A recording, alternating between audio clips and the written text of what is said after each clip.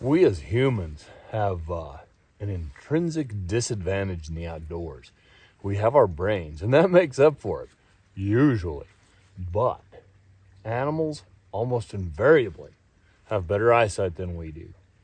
Now, welcome to our top three in five. Today, our five minute rapid fire episode is on glassing methods, techniques, and equipment that will make the difference in the field. And these are all chosen uh, by long experience and are determined by the type of terrain that you're hunting. We have uh, a standard binocular, like you always carry when you're hunting, a high power binocular, which you use for long hours of studying uh, difficult terrain, and then a high powered uh, spotting scope that will give you the advantage of picking out small details at distance. Let's take a look at each in turn. Your handheld binocular should be an everyday piece of your equipment, just as important as your boots and your rifle or bow. Never go afield without this. It should be something that's comfortable in your hands, that fits you well, that has high quality enough glass, that it doesn't give you eye strain, and usually either in an 8 or 10 power, depending on your personal preference. 8 power gives you a little more field of view.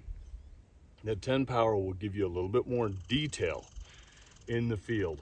Make sure you've got your diopter adjusted correctly so that both your eyes are focusing uh, with the focus ring, right? And you'll use this to study tight terrain. You use this when you approach something to pick out anything up close. It's the first thing you always do when you sit down in the new glassing position. The next type of glassing gear and method that you'll commonly see in open country hunting is a spotting scope. And this is the far end of the spectrum from your everyday binocular. It gives you extreme detail at distance, helps you pick out and uh, determine the biggest buck from a bachelor group. It helps you score an antelope or something like that uh, way out there. It helps you do tasks that require extreme optical precision.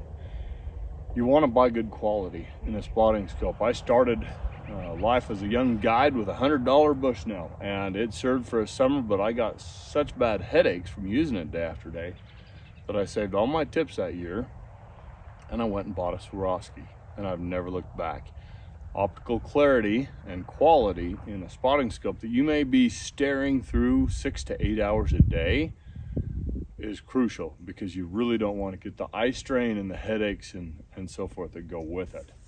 You'll use this on a good stable tripod to simply pick apart the country and um, look for those really fine details that you need to see.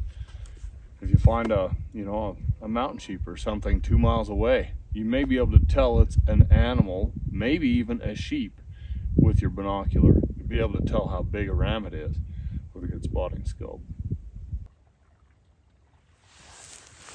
Now you might think that the final optic in this trio and the final method in this combination is kind of a gap bridger, something that can close that distance between your everyday binocular and a big spotting scope. And in a way, yeah, it is.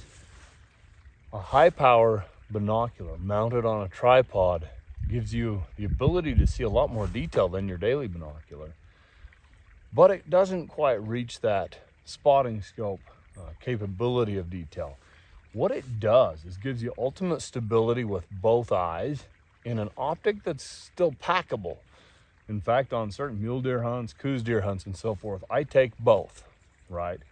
I would rather spend a whole day looking through these than either of my others because they don't give you any eye strain. A good binocular, as long as it's good glass, mounted on a tripod, well, it enables you to pick out detail just about like no other because you don't tire and you can see at that 15 power level. That's my favorite. You can do a 12, you can do an 18 or whatever, but the 15s are really kind of where out. These were pioneered by Coues deer hunters in Arizona where you literally spend day after day, sometimes 12 hours a day, picking apart uh, desert brush country these are ideal for looking in shadows underneath trees, whether it's a ponderosa in the mountains for a, a mule deer or you know, a mesquite tree in the desert for a, a Coues deer or whatnot. You can methodically take apart country and see everything there is to see. The first year that my brother and I used these mule deer hunting, we shot 50% more deer than we expected, big deer. And all of those 50% more deer, we were guiding them as well, right? We felt like we would not have found without this arrangement. Now you can do this a few different ways. This one, pretty cool. It's uh, it's on an outdoorsman tripod. That's kind of like the iconic best of its type, and it's got a quick detach mount on top. Right. You can also use a tray type, which is versatile across any different binocular. That'll go on top of your tripod, and you can even add your daily binocular on top of that and use it. Works pretty darn well. Uh, but the, the best way to get the most out of this system is to have a really high quality tripod with a good fluid head, not a fluid head, just a high quality head that enables you to pan smoothly from side to side and up and down. Get it set so it's comfortable for you at the correct height so you can just lean into it and look hour after hour. I like to set the tension so I can actually bump the binocular with my nose to pan across the countryside. Get something like this if you're a serious open country hunter. The weight is worth carrying unless it's really savage mountain country and you will absolutely find more game and bigger, older bucks and bulls than you would with any other type. And that's a wrap for today, folks. Thanks for tuning in to our top three in five minutes episode. Keep in mind, those of you that are listening, that we are filming all of these, and those will be posted on patreon.com slash backcountry. If you want to put eyeballs on the equipment and the methods we showcase, please join us there. We'll see you next time.